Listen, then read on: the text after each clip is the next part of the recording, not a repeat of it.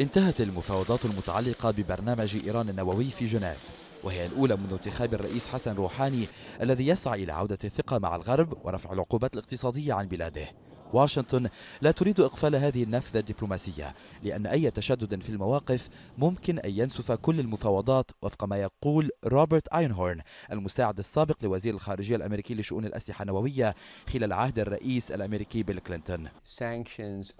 العقوبات هي أفضل ما تملكه الدول الخمس زائد واحد للضغط خلال المفاوضات مع إيران.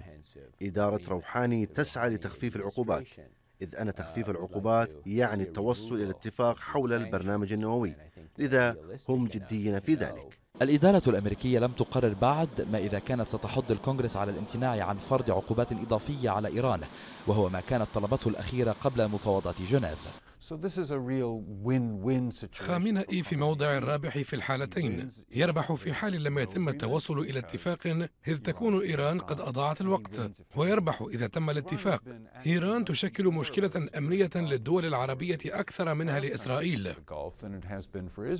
كان مشرعون أمريكيون بينهم رئيس لجنة العلاقات الخارجية في مجلس الشيوخ روبرت ماننديز أبدوا رغبتهم في تجميد إيران نشاطات تخصيب اليورانيوم منخفضة المستوى الذي يستخدم في محطات لتوليد الطاقة قبل أن تتخذ الولايات المتحدة خطوات لتخفيف العقوبات الحالية أو حتى أن توافق على عدم السعي لفرض عقوبات أشد.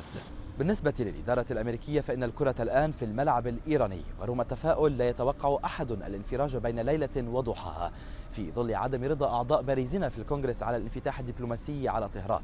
وهم معروفون عادة باتخاذ خط أكثر تشددا من أوباما تجاه إيران. جوزيف خوليس كان عربية واشنطن.